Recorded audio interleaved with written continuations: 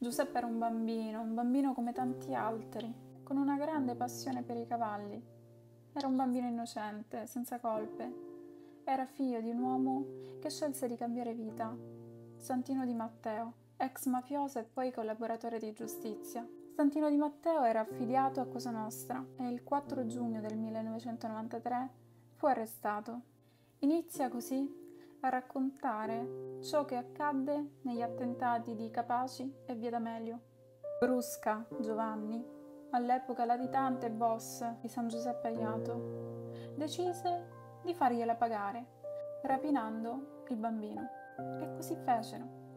Lo adescarono fuori dal maneggio, che era solito frequentare, dicendogli che gli avrebbero fatto rivedere il padre che da tempo non vedeva, poiché sotto protezione. Uno dei rapinatori afferma che il bambino si commosse nel sentire la parola papà. Tempo dopo venne ricapitato al nonno di Giuseppe un messaggio intimidatorio. Santino di Matteo non ritirò le accuse, anzi continuò a parlare. Sì che l'11 gennaio 1996 Matteo Messina Denaro ordinò di compiere l'omicidio di Giuseppe di Matteo, strangolato e sciolto nell'acido dopo 25 mesi di prigionia. Quello che vi sto per leggere è il racconto di quell'omicidio.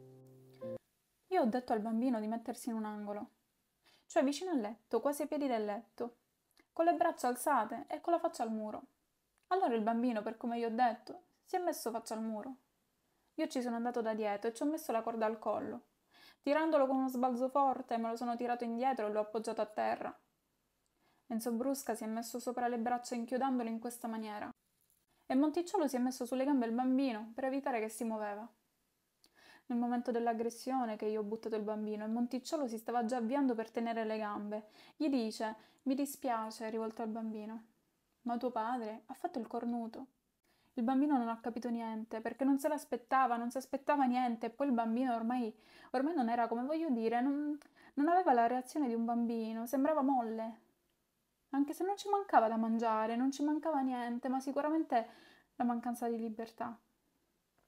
Il bambino, diciamo, era molto molle, era tenero, sembrava quasi fatto di burro. Cioè, questo il bambino penso non ha capito niente. Sto morendo, dice. Penso non l'abbia neanche capito. Io ho spogliato il bambino.